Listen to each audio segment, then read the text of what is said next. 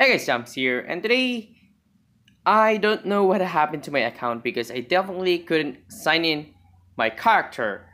So I'm not sure if I get banned by Hero or it's just a character ban because um, there's no problem with, with my account, which means I can log in my account, but my character I won't be able to log in it.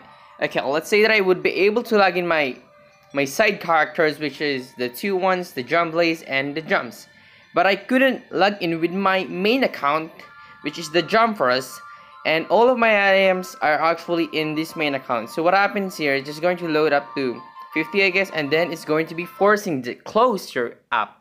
And what the hell is that right? So I, I don't have any idea what happened. Maybe they banned me especially that I would be able to log in my side characters and they only banned my main character which is ridiculous. I'm not sure if I I'm banned but this is really weird because I can definitely log in with my other characters and I'm not banned with the account just uh, what others actually experiencing. So this is really weird. I don't understand. Maybe just like they they ban me for having so much stuff or they ban me for nothing or it's just a bug. So what do you think? If if everyone of you actually experienced this before comment down below on how you fix it. So as you can see I can actually log in with my other characters but unfortunately I won't be able to log in with my main character. Just this is really ridiculous. Well as you can see I'm not really banned with the account um, related to time and stuff like that um, cheating and other stuff.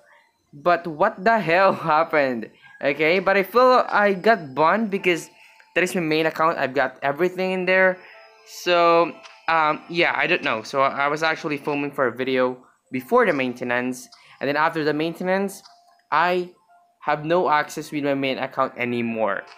So uh, this feels really sad and I don't know. I don't have any idea and I probably won't be able to fix it because the customer service is actually bullshit. They don't do anything. So yeah